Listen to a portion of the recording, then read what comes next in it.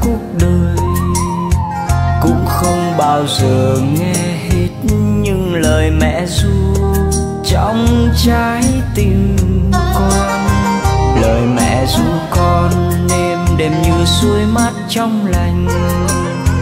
Để con khôn lớn đắp xây cuộc đời tươi sáng, mong muốn lòng con từ bi, con thành người tài đức vẹn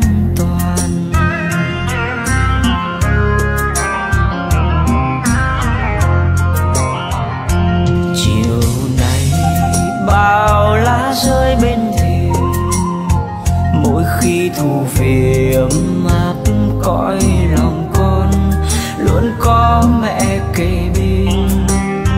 Lòng đầy trao dâng bao niềm vui quý trước phật đài mùa vu lan đến áo con cài hoa hồng thắm, vui sướng vì mẹ còn đây.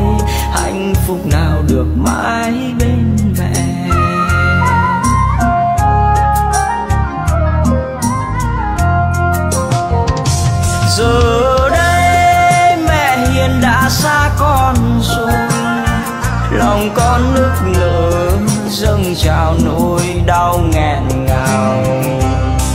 Vào thu mùa vu lan đến con lại nhớ thương.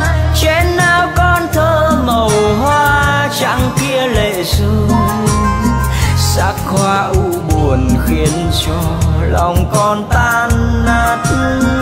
Nhói đau tim này trong lòng chín chiều ruột đau. Như mới hôm nào bên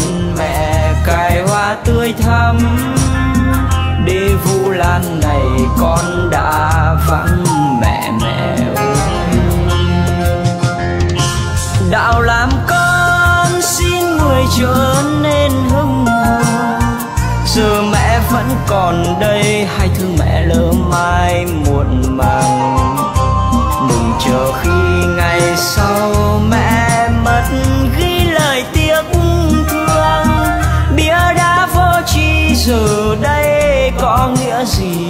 Đâu nhưng ai con mẹ xin đừng đừng làm mẹ khóc. Khắp thế gian này không gì sánh bằng mẹ đâu. Hãy yêu khi mẹ vẫn còn ở trên dương thế. Vắng xa mẹ hiền bây giờ, con phải mồ côi. Phu lan về áo con. Cài bông hoa trắng, sắc hoa u buồn mắt con.